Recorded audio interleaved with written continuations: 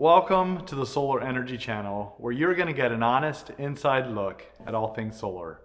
My name is Charles. And I'm Warren, and in this video, we're going to talk about the incentives for going solar in 2022.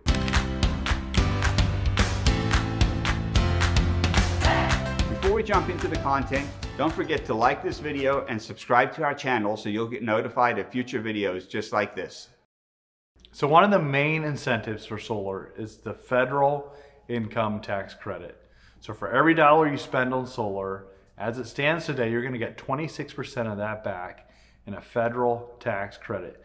It's not a deduction, it's a dollar for dollar credit that if you owed the tax, you get to keep the tax and use that to pay off your system.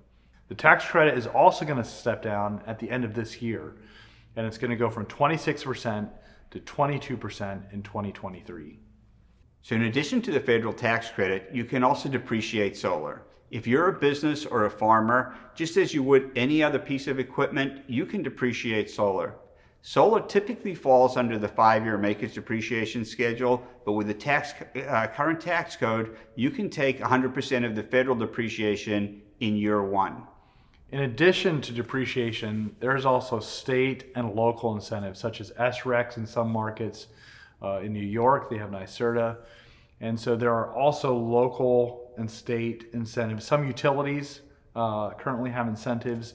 Your local solar installer should be aware of all the incentives that are available to you. And then there's also the USDA grant, which is available, which is available to small businesses and farmers, not available in all areas. So you'll also want to check with your local installer we have videos and blogs on each of these topics, so if you want to take a deeper dive, you can find the links to those videos and blogs in the description below.